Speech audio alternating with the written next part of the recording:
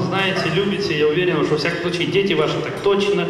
Э, почему я это говорю, сейчас объясню. Вы помните такой художественный фильм, он очень часто шел по телевидению, «По секрету всему свету». И там такой мальчик Дениска Кораблев. Так этот парень, он уже подрос, вот, возмужал, работает у нас.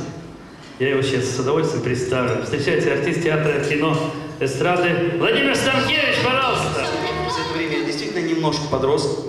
А, Снялся еще в 27 фильмах. Многие из них вы наверняка видели, а, потому что это такие фильмы, как «Вот и лето прошло», «Три веселые смены», «Судьба барабанщика», «Алые погоны», а, «Кислородный голод», ну, много-много-много еще.